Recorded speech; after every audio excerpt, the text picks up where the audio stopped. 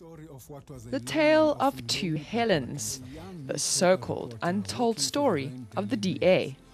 In a bid to quash the perception that the party is going to bring back apartheid, the DA has made a documentary showing how Helen Suzman and Helen Zille fought against the regime.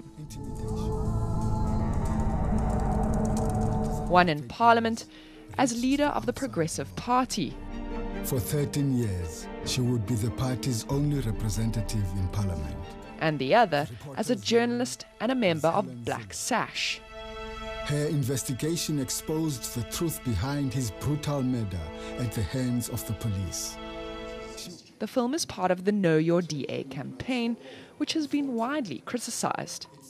The idea that uh, citizens have to know or potential voters have to know the DA, it's a good idea. But the manner in which they implemented this, I think that is where the criticisms comes in. It has tended to be a manner, a way in which they are trying to rewrite the history and try to say that uh, the DA also has heroes in a similar manner that the ANC has. Ironically, the 12 minute video has statements made by ANC leaders about Suzman. The extraordinary work that she has done has been recognised by all the leaders of the ANC that matter. And it's not that we need to draw on the ANC to validate our struggle.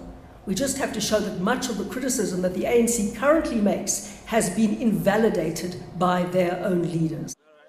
Marketing expert Kaya De Lange believes the DA should have focused on the present, not the past.